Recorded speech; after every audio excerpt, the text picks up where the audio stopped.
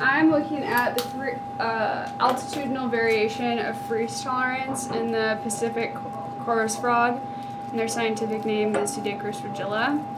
And there's only been one paper ever written about them, and it was just basically saying that they think they're freeze tolerant, although we know they are, so it's really good. It's pretty fun.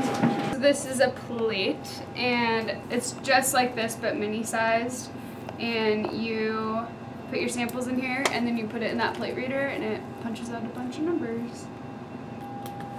Seriously, the tiniest amount ever. I hate it. Uh, these ones are the dilutions, and then they'll go into a plate re- or I'll add a color reagent um, so you can detect how much glucose is in the sample.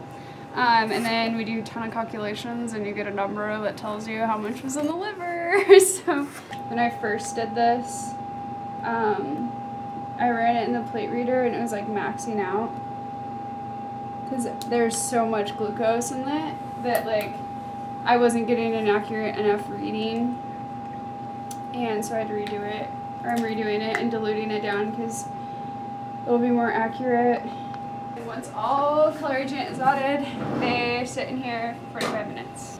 And they change color if there is um, like glucose present.